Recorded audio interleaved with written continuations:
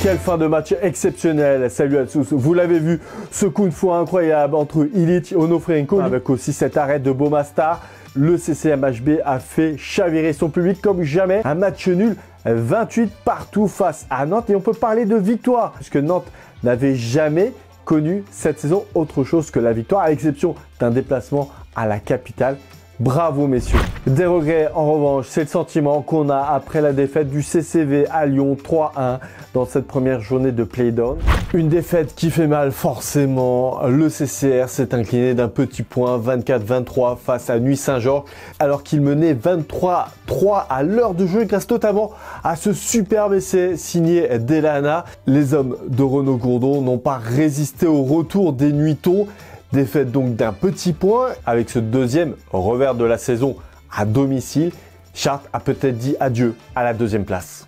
Une victoire en patronne. Les Blue Lights n'ont pas fait de détails à la tronche Mélan. Succès 80-68. De quoi avoir le plein de confiance avant le choc ce samedi à domicile face au pays voironnais. Allez, c'est la fin de ce vestiaire. Merci beaucoup de nous avoir suivis. Rendez-vous la semaine prochaine.